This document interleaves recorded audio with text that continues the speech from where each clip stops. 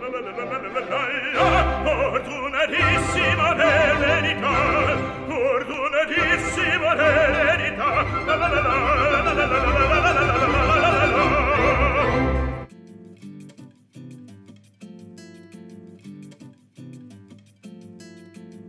Ancestral de la Viña Dalmas, media hectárea de charelo en pendiente, vinificada en la forma que llamamos ancestral, que es decir, un espumoso de una sola fermentación. Pero si bien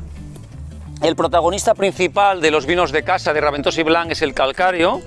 eh, son estas arcillas las que definen la personalidad de este ancestral. Le dan mucho volumen al charelo, que eh, eh, al cabo, pues de, después del proceso de, vinificación en natural,